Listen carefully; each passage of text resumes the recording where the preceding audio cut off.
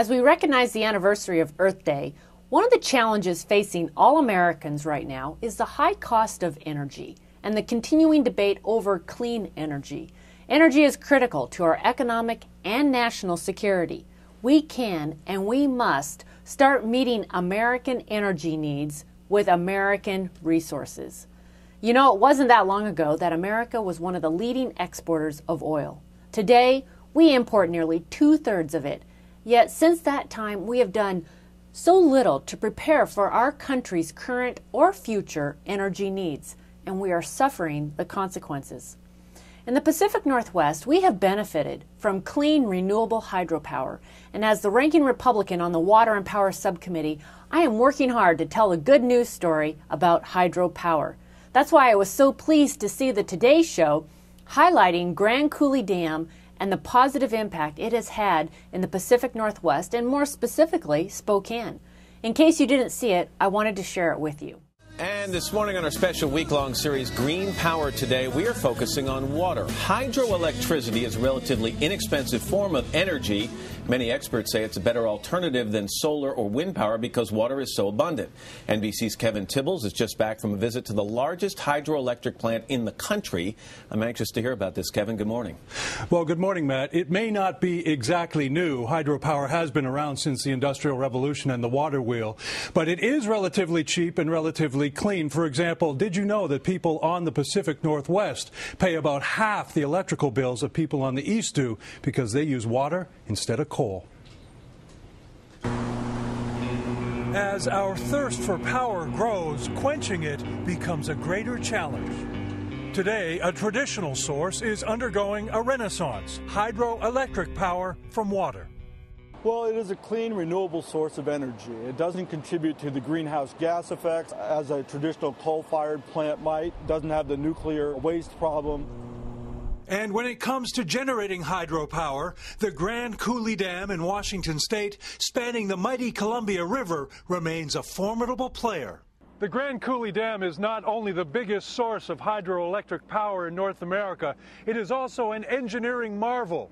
550 feet tall, just short of a mile across, and harnessing the power of 6.2 trillion gallons of water to light up our cities. So, how does hydroelectric power work? First, a dam is built on a large river, creating huge quantities of water in a reservoir. Gravity causes the water to pour through massive tubes called penstocks. The rushing water turns a giant turbine propeller, and the shaft of that propeller goes up into the generator. The more the propeller turns, the more electricity the generator produces. This is the largest hydroelectric generator in the world. The shaft alone is 11 feet across and weighs 250 tons. Unlike wind or solar power, a hydroelectric plant can turn on or off like a spigot. We have a fairly quick response time, so basically, if the demand goes up, we can start generating more power fairly quickly. There's the King Columbia River and the Big Grand Coulee Dam. In 1918, when Wilfred Woods' father proposed the idea for a dam on the Columbia, people laughed. Nowadays, hydropower is really gold.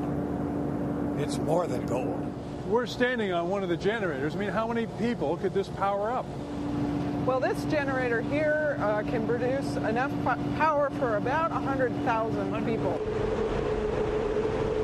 The Grand Coulee powers the Pacific Northwest and reaches a total of 11 states, sending electricity as far east as Chicago and as far south as Los Angeles if needed. 60% of the city of Spokane's electricity comes from hydropower, much of it from the Grand Coulee. And the city of Spokane's economy really grew around having hydroelectricity, which was cheap, almost free electric power. But there is an environmental cost. Damming large rivers has impacted native Indian communities whose livelihood depends on salmon fishing. Whenever you put an impediment in the water, like a dam, uh, you're going to stop the free migration of fish. Still, here at the Grand Coulee, they expect to provide millions of megawatts for years to come. And it's still going strong. Absolutely. Uh, Grand Coulee Dam is as relevant today as it was back in the 1940s.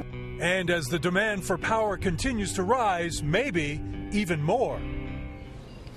And Matt, speaking of the salmon, some of the newer dams actually have salmon bridges built into them so the fish can get up and downstream.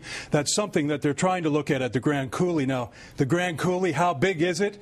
Enough cement went into that structure to go around the world, make a sidewalk around the world, not once, but twice. That's a big dam. It's a Kevin, big thanks dam. very much for the information. We appreciate Okay. it.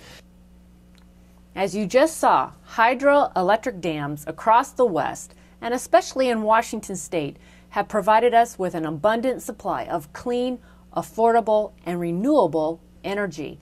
In fact, these dams provide nearly two thirds of our state's electricity.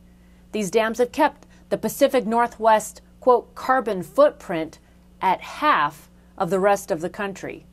For example, the removal of the lower Snake River dams would add 5.4 million tons of CO2 to the atmosphere each year, and it would take three nuclear, six coal fired, or 14 gas fired power plants to replace their electricity generation. At a time of growing energy demand, it makes no sense to throw this energy source away. I'm committed as we move forward with the debate on global climate change and how to reduce our carbon emissions that hydropower be recognized for the important role it has played in the Pacific Northwest. If the Chicago Climate Exchange can accept hydro from Chelan County PUD as a positive offset, Congress should be able to do the same.